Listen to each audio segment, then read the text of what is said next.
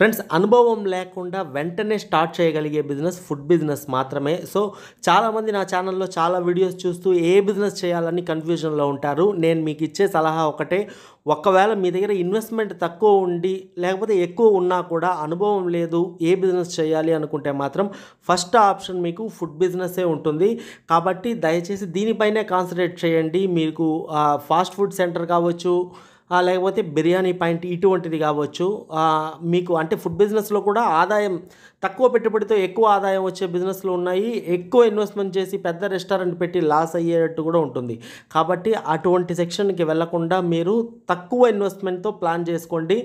మంచి business idea. ఇంకా తక్కువ చాలామంది పదివేలు ఉంది ఏం చేయాలి బిజినెస్ అంటున్నారు. చక్కగా దాంట్లో కూడా మీకు పానీపూరి బిజినెస్ వస్తుంది. అంటే మీకు కూడా మెషిన్ ఉంటుంది. ఆ విధంగా కూడా మీరు చేయొచ్చు. సో ప్లాన్ చేయండి. ఖచ్చితంగా సక్సెస్ అవుతుంది.